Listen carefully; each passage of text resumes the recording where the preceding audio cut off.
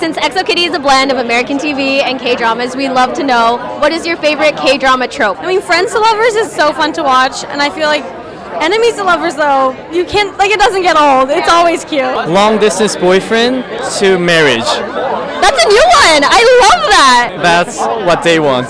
I would say I'm more on the side of enemies to lovers. You know, when you were young, you're in your school, and if someone like uh, some uh, some guy like tugs out a ponytail with a girl, and you know that he's in he likes her in real life, he's just expressing a different way. They hate each other, but then they love each other. Like Friends to Lovers. That's the one. Oh, well, actually, no. Enemies to lovers.